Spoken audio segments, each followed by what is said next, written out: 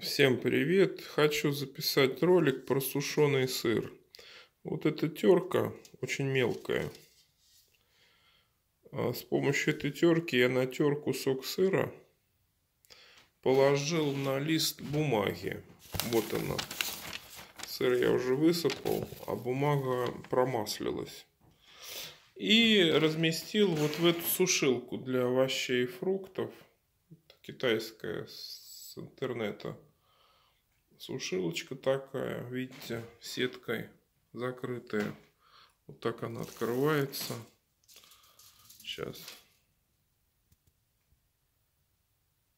Вот я ее открыл.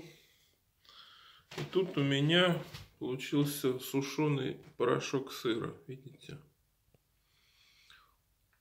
Бумага довольно быстро впитала в жир. И, в общем, сыр высох.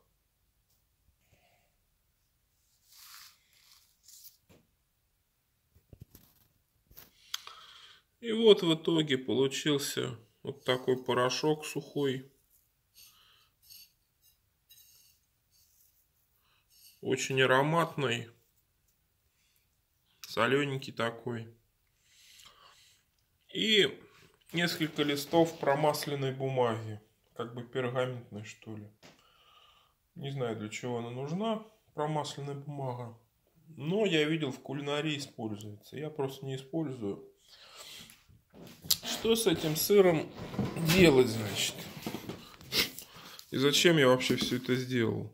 Ну, во-первых, конечно, брать с собой в поход удобно. Потому что это все-таки сыр, хоть и обезжиренный в некоторой степени, но очень вкусный продукт. Я его использую вместо соли. Хрустит на зубах. Очень ароматный. Сушеный сыр.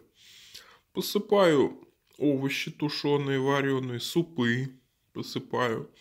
Вот классические рецепты французский луковый суп. Это лук в супе поджаренный и тертый сыр.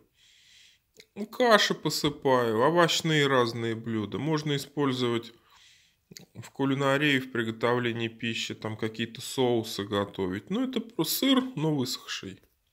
И, можно сказать, так обезжиренный, потому что жир перешел на эту бумагу.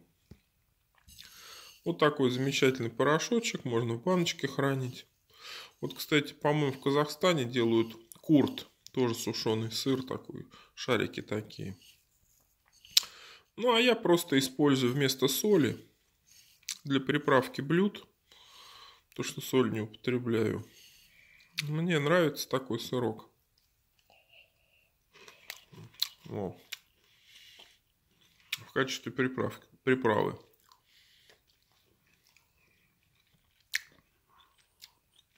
Поход хорошо взять с собой. Не знаю, что еще сказать. Бутерброд с маслом посыпать. Вот такое небольшое видео. Спасибо за просмотр. Подпишитесь на канал Дмитрий Зарла в Яндекс.Дзен, в Рутубе, в Ютубе, в Одноклассниках, ВКонтакте.